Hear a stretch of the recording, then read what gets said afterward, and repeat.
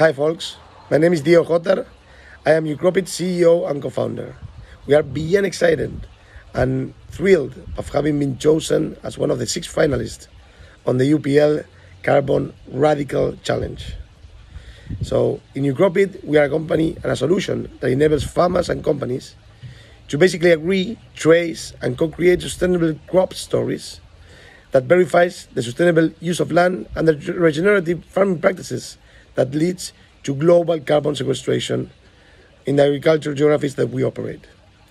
We are present in Brazil, Paraguay, Argentina, most recently in the US. We are tracing more than 1 million hectares, that is 3 million acres of sustainable crops, verified with the carbon sequestration metrics at a granular plot, plot level.